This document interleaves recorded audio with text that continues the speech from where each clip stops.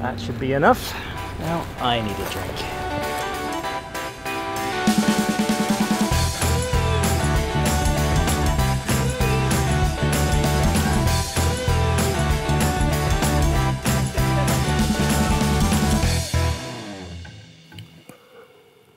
Mm.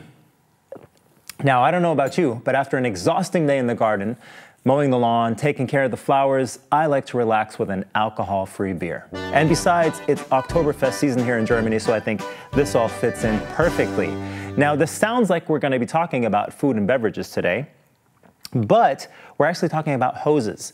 Now, hoses are not only used to transport water from A to B, but also for many other things in our daily life. And I'd like to welcome Cengiz Chitlak from our hose experts at Continental to talk to us. Cengiz, nice to have you. Yeah, thanks for having me. I got to tell you, you look more like a fireman with that hose over your shoulder, though. Yeah, with regards to your thirst, it sounds like, but probably you already have been in touch with this hose. I'm just trying to stay hydrated, you know? So tell us what this uh, has to do with your field of expertise. Yeah, let me start with, with this example here. So it's a hose which uh, is having different layers. You can see here the inner layer, mm -hmm. the reinforcement, and here we have the cartridge. That's pretty thick. Yeah, absolutely. And this is a special hose for breweries. The special thing about this is the inner layer, where we are completely compliant with all the regulation and all the standards required. Okay. Okay. This is for the beverage side or the brewery side. Mm -hmm. And here we also have uh, another one, which is more used in dairies. And we're not only talking about beverages like beer and orange juice. There's probably a lot more, right? A lot of more. So just give you an uh, idea about that. It's dairies, milk, cheese, butter, yogurt, meat, and trail mix. That is a lot. Now, you mentioned a lot of fluids, but also granulate materials like trail mix at the end. Yeah. What's the biggest difference between these when conveying them through hoses? We have here a specialty which is helpful if you look to conductivity. When I rub a balloon on my head. Exactly. Ah. That's a good example. So you see, here we have the same effect for the hose, but this hose is capable to get rid of the conductivity. That is crazy and amazing at the same time. I didn't know you actually had to do something like that. Uh, but what's also cool is that you can equip each hose with a special ability. Right? Absolutely. Looking, for example, for this type of hose. So here we do also have a plastic right. inner liner, but right. without conductivity, because here a different uh, application plays a role. Can you imagine what problems occur with curry? for example? Uh, besides that, it tastes really good. Stains?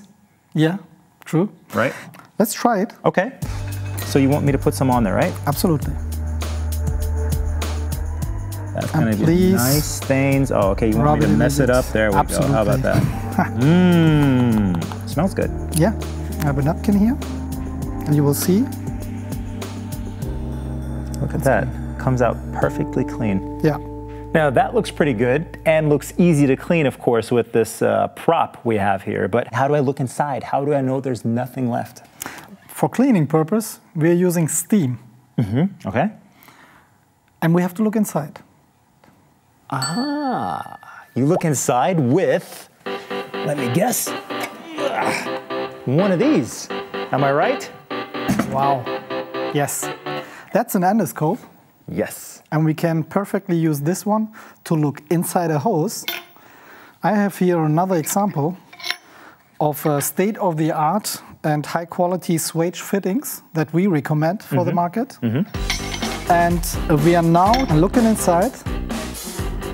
We can see the swaging, which is important to judge, and you.